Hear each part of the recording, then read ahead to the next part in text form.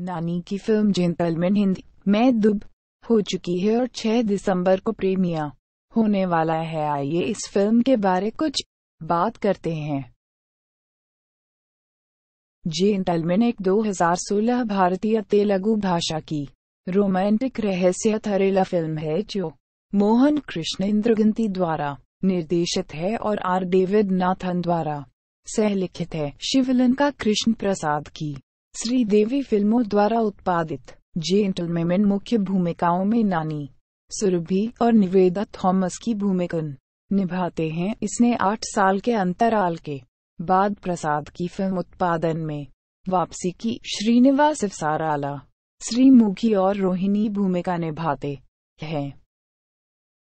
Film में दो महिलाओं, ऐश्वर्या और कैथरीन की कहानी है, जिनके संबंधित प्रेमियों, जयराम, जय मुल्लापुड़ी और गौतम और दोनों देखने में एक जैसे है। छब।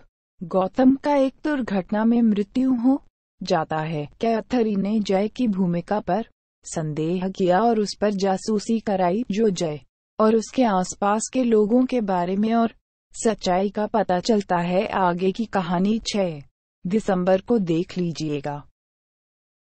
अन्य साउथ मूवीज़ संबंधित जानकारी के लिए हमारे चैनल में सब्सक्राइब कीजिए।